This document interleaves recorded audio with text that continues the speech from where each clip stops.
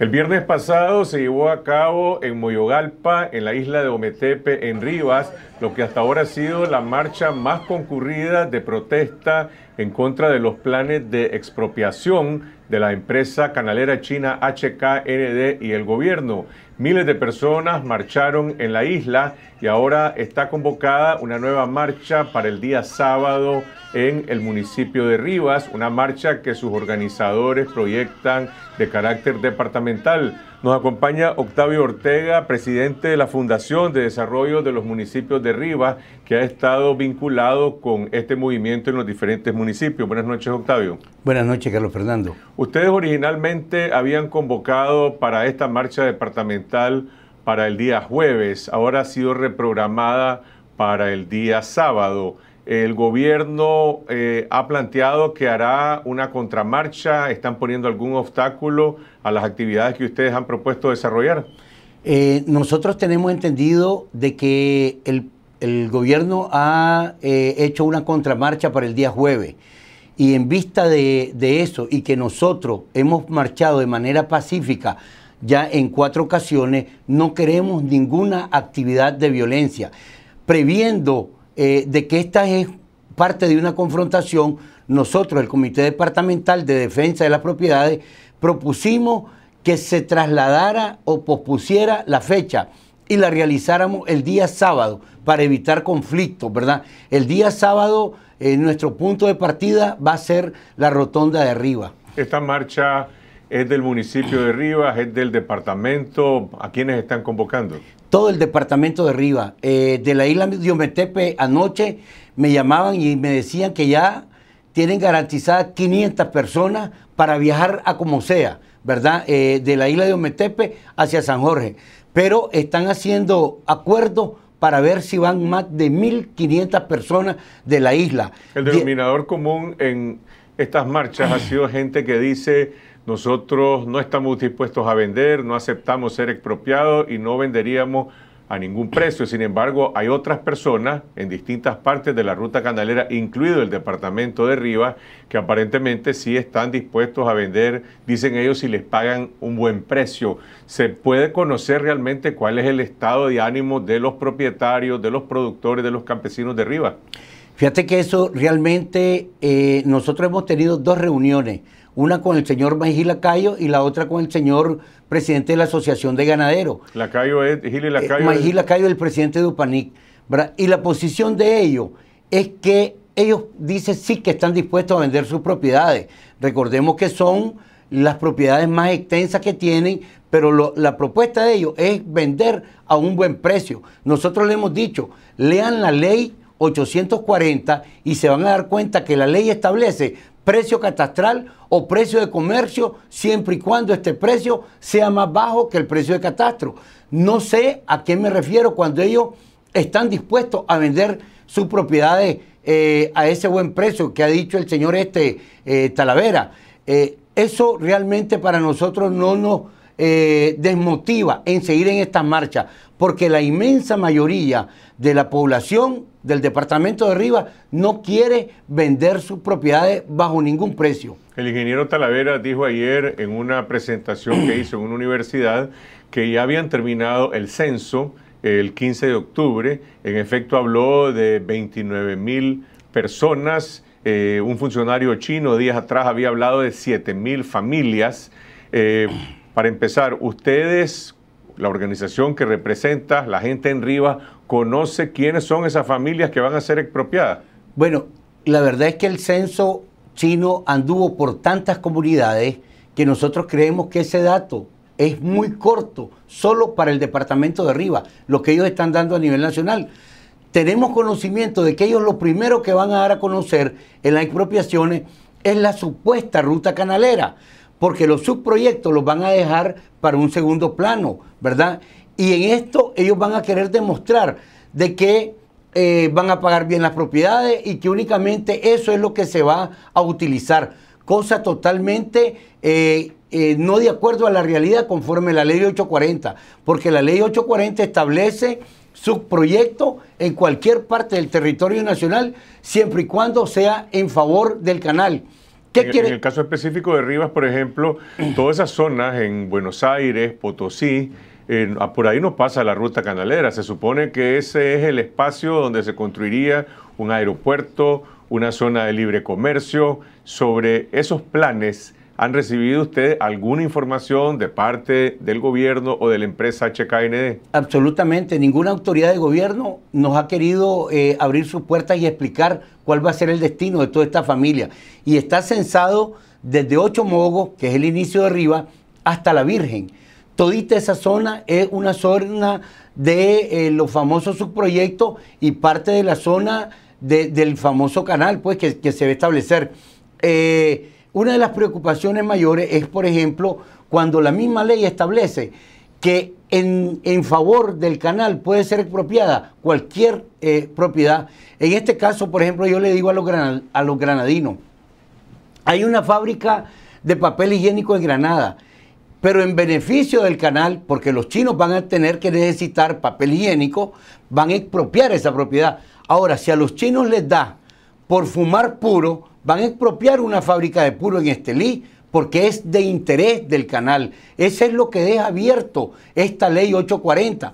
Pero aún más, todavía leer el acuerdo marco de construcción todavía es más dañino, ¿verdad? Porque en él establecen que en cualquier momento ellos pueden aumentar los famosos subproyectos para beneficio del canal, pues, porque nosotros hemos dicho, ¿qué beneficio puede tener un centro turístico en Tolesmaida cuando no tiene nada que ver con el canal? ¿Y por qué lo movieron de Morgan Rock y de las playas más agual a las comunidades más humildes, más pobres? Porque se lograron entender con el gran capital. Morgan Rock tiene valorada en un millón de dólares cada manzana de tierra. Pero aparte de eso, hay generales del ejército y generales actuales dueños de propiedades en esa zona. Entonces nosotros creemos que el partido de gobierno la pensó dos veces y dice, estoy tocando un capital internacional y estoy tocando intereses que realmente tienen que ver con, con el ejército y yo no me quiero confrontar a esas dos realidades. Octavio, en las manifestaciones es bastante común escuchar a la gente de manera muy espontánea y con mucha fuerza decir qué quieren los campesinos que se vayan los chinos.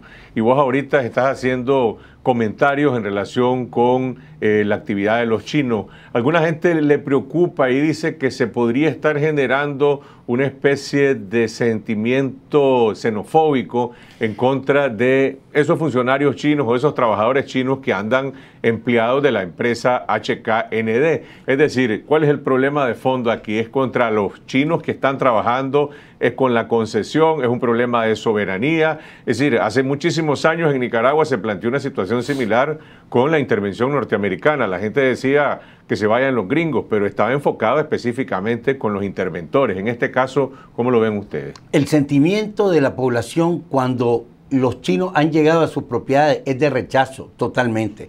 Eh, y eso es, un clamor general, pero es el que ha dado la cara.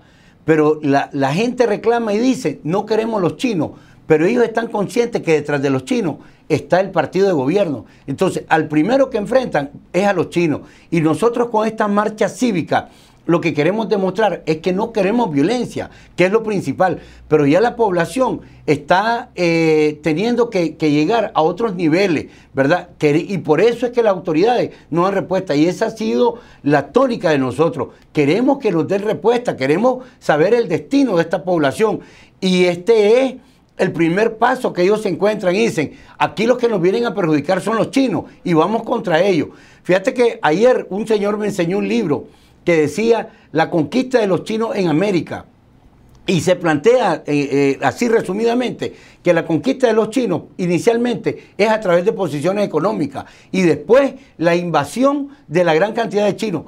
Nosotros decimos 50 mil chinos en Nicaragua. Si estos 60 eh, chinos que anduvieron en Riva, nosotros vimos personalmente que en Maxipalí pagaban con cédula nicaragüense. Entonces, eso es violatorio porque los jóvenes en Nicaragua, ¿cuánto le cuesta obtener una cédula? Y a ellos alegremente, en cuanto vienen, el señor este, Rivas, se las entrega sin ninguna condición, pasan a ser ciudadanos nicaragüenses, violando una cantidad enorme de leyes. Esa brigada de trabajadores, o no sé cómo llamarle, que se veían como 50, 60 camionetas en Rivas que se andaban movilizando, eh, ¿siguen trabajando en el departamento de Rivas o se fueron a otra parte? Ya salieron una etapa en la que ellos ya salieron el sábado pasado, más de 60 camionetas, bien resguardadas, ¿verdad? Porque en la última semana la seguridad se les aumentó al personal chino cuando ya comenzaron a ver la, cantidad y más seguida de las marchas de protesta, ¿verdad? Yo solo me imagino en la primera oleada de chinos, 50 mil chinos, toditos con cédula nicaragüense. Al cabo de un año vamos a tener más de un millón de chinos.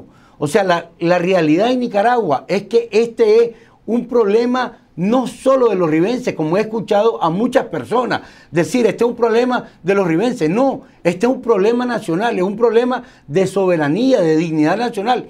Sandino, cuando en su momento, que vos acabas de, mencionar, la invasión norteamericana, él decía peleles, y pelele es una palabra que quiere decir inútil, decía peleles vende patria. Entonces, nosotros ese es lo que hemos estado ocupando ya en nuestro discurso, porque hay que rescatar el ideario de Sandino. Es súper fundamental. ¿Qué le decís a la gente que, de acuerdo a las encuestas que se han presentado, tiene una gran expectativa de que este proyecto, independientemente del temor que hay por el impacto ambiental, por el impacto eh, social que puede tener, podría también, como dicen, generar fuentes de trabajo y empleo? Mira, eh, el señor este, no quiero ocupar la palabra en su programa de, de, Pelele, ¿verdad? Para el señor Talavera, pero el señor este Talavera eh, dijo que deberían de sentirse agradecidos los isleños y los ribenses, porque su vida les va a cambiar, ¿verdad? Van a salir de pobre. Y nosotros dijimos, es cierto, eh, yo le creo al señor Talavera, fíjate, de que los ribenses van a salir de pobre. De pobre van a pasar a mendigo van a pasar a la miseria, porque la ley establece no reubicación, establece únicamente precio de catastro. Te compro y tenés nada más tres días para desocupar tu propiedad. ¿Qué tanto conocimiento tiene la gente sobre esa ley? Ustedes han divulgado la ley, qué tipo de reacción han encontrado en la gente, han tenido contacto con personas que están asociadas al partido de gobierno, están informados sobre esa ley, están respaldando activamente el proyecto del canal, esa gente a la que están convocando, por ejemplo, que van a marchar el jueves. Ah, mira, es un desconocimiento grande de la población, incluso este, no conocían la ley. Yo ayer estuve reunido en una comunidad y las personas cuando comenzaron a darse cuenta del artículo 12, eh, me decía, me cambia la vida totalmente. Le digo, es cierto que aquí no vinieron los chinos, pero está cerquita del área de influencia de un centro comercial que dijeron que ellos van a poner aquí cerca. Entonces, eso al cabo de dos años, usted tenga lo seguro, no va a estar en esta propiedad. Cuando las personas conocen la ley, totalmente les cambia la realidad. Hay un desconocimiento grande de esta ley y por eso es que nosotros nos hemos dado cuenta que los mismos militantes del partido de gobierno se nos unen masivamente a, esta marcha porque no están de acuerdo en vender sus propiedades. O sea, ha habido un desconocimiento total en el conocimiento de la ley. Y nosotros lo que, lo que hemos hecho es, solo por mencionarte algo, ayer un amigo me dice, Octavio, tomás 100 Córdoba para que almorcé. Agarré los 100 Córdoba y di a fotocopiar 17 leyes que las entregué ahí nomás como pan caliente, porque autoridades que yo he conocido del partido de gobierno me han solicitado la ley. Ustedes han sido objeto de intimidación por parte de las autoridades policiales. En algún momento vos has denunciado situaciones de observación, seguimiento, entrevista. Sin embargo, las marchas se han hecho de manera pacífica. No ha habido hasta ahora ningún impedimento de parte de la policía, del partido de gobierno o el ejército. Y alguna gente pregunta, bueno, el gobierno se siente muy fuerte que está tolerando este tipo de manifestaciones. Bueno, a cualquier otra persona te aseguro que lo hubieran intimidado. Eh, tres amenazas de muerte, un golpe por parte del propio jefe de la policía de arriba, eh, una persecución constante contra mi persona, ¿verdad? Y yo he demostrado que no les tengo miedo. Y cuando vos demostras que no tenés miedo, ellos comienzan a seguir a los otros líderes. En el caso de Escuelita, en el caso de, de, Ronald, en el caso de Augusto, ¿verdad? Ellos han hecho la persecución en contra de ellos. Está hablando de un movimiento que está agrupado en torno a esta fundación, a este comité departamental. ¿Hay participación de gente de partidos políticos en estas movilizaciones? Nosotros sí han llegado diputados de, de partidos políticos, pero nosotros le hemos pedido que no encabecen las marchas, que como ciudadanos ellos pueden participar, pero van atrás. Ni les hemos permitido micrófono porque no queremos confundir esta marcha de población con una marcha política. Me decía una señora, doña Nora, la dueña del Hotel Ometepe en, en, la isla de Ometepe, Octavio, ningún partido político ni el de gobierno ha hecho una marcha de más de 5 mil personas aquí en la isla y nosotros respaldamos esta marcha, me dice. Y estamos seguros de que esto no se va a dar en, la isla de Ometepe. O sea, nosotros hemos movido voluntades de todo, de todo tipo de, de partidos políticos y de expresiones religiosas ¿Por qué? Porque todo el mundo se siente afectado en su hogar, en su este Es un movimiento que ha estado arraigado a la localidad, a los municipios, Buenos Aires, Potosí, San Jorge, empezó en Obrajuelo, ahora está en Ometepe y ahora van al departamento de Rivas. Pero bueno, hay áreas en el departamento de Rivas que quizás no se sienten directamente afectados eh, por el canal. Nosotros hemos recibido las llamadas incluso a los noticieros que venga don Octavio a la, reunión de mañana, la tenemos programada a las 3 de la tarde. Han habido días que he tenido tres reuniones, ¿verdad? Y este, eso ha permitido que donde los chinos han ido pasando, nosotros hemos ido llegando y hemos ido organizando, pero hemos sabido organizar a la población. Inicialmente hicimos un comité gobrajuelo y el partido de gobierno nos lo desbarató, porque es fácil que seis personas se hagan cargo de una comunidad y es más fácil para el partido desorganizarlo o atemorizarlo. Entonces, la lógica que nosotros hemos seguido es que cada uno de ellos son parte del comité. Nuestros números de teléfono y, nuestro, y los nombres y los mensajes de, texto y los chats. ¿Cómo, se, financia este movimiento? no tenemos financiamiento. Yo hoy vine gracias a un productor que me dio para el viático de, del bus de hoy. Cuando hemos ido a la isla de Ometepe, en la reunión hemos recogido 350 Córdoba, te vas a la isla. Somos autofinanciados. Aquí las mentiras del partido de gobierno es que la CIA no financia, que no financia la derecha, que no, absolutamente. Hoy en un programa de radio en, en se estableció de que nosotros tenemos autofinanciamiento. Tenemos alguien que te dice, Octavio, yo voy a pagar el sonido. Octavio, yo voy a dar para el transporte. Ese ha sido nuestra tónica porque es un problema sentido de la población y ellos saben que ese es su futuro. El futuro de ellos está en las marchas, está en la protesta cívica. Nosotros nos dicen, el, el primero de noviembre es la última marcha, porque es la marcha departamental. No, esta marcha va a demostrar la unidad de todos los ribenses. ¿Tenéis confianza de que esta marcha se podrá desarrollar de manera pacífica? Ese es lo que esperamos, aunque el partido de gobierno ya está montando dos ferias en el Parque de Rivas. Está la Feria de la Sangre que la montó viernes, sábado y domingo. Y está la Feria de las Flores. Como el 2 es el Día de los Muertos, entonces hoy públicamente dijeron que van a acordonar para darle seguridad a los compradores. Ese de acordonamiento por parte de la policía es no permitir que nosotros marchemos pacíficamente a la parte central de Rivas, que es el parque, ¿verdad? Pero nosotros no hemos definido todavía la ruta. El punto de reunión es la rotonda de Rivas. Gracias, Octavio Ortega. Estaremos pendientes de esta convocatoria el próximo sábado en el municipio de Rivas.